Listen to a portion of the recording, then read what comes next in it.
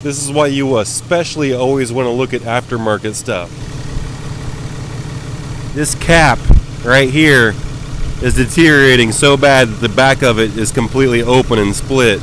And at some point, it might get so bad that it might want to suck itself into the turbo.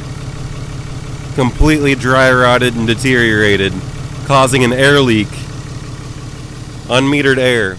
This is the perfect size. It's really snug, difficult to put on there. Rather than spraying a lubrication type spray, if you put a brake cleaner on there, it will evaporate immediately, but it'll be slick to slide on. So get the excess out. And then I'm just going to,